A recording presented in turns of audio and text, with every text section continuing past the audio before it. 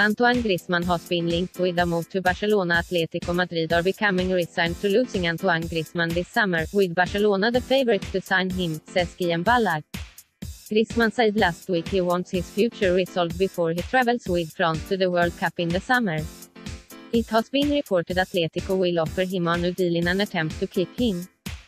However, with a buyout clause of 87 pundem, 100 meter euros, Sky Sports Spanish football expert Ballack told La Liga Weekly podcast that it looks like Barca are closing on the 27-year-old. Barcelona are trying to do it the nice way, and the other way to try to make sure he doesn't go anywhere else. He said, they are going to Atletico Madrid and saying, when you are ready to talk, let's sit down, you know it's 100 meter euros buyout clause but if we give you a little bit more will you be happy and we can still be friends. At the summertime Atletico Madrid are trying to convince him to stay telling him we will get three or four top players but they are resigned to him leaving.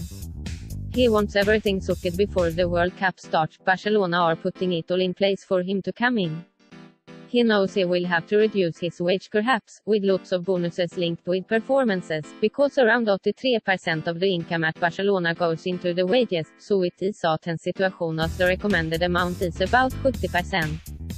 They won't be able to change that because they still need to renew one or two. Manchester United were reportedly close to signing Griezmann last summer while Chelsea have also been linked with a potential move.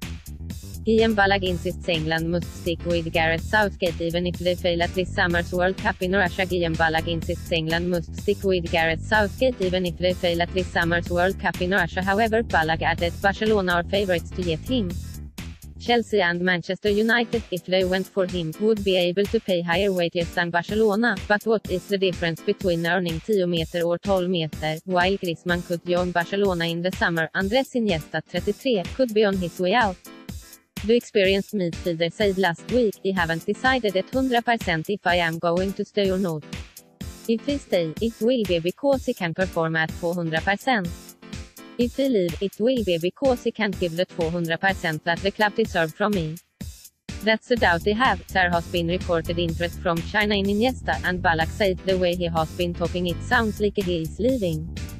He is saying he have to make a decision. Barcelona is the club of my life, but there are times when other things take priority. That's how he is talking.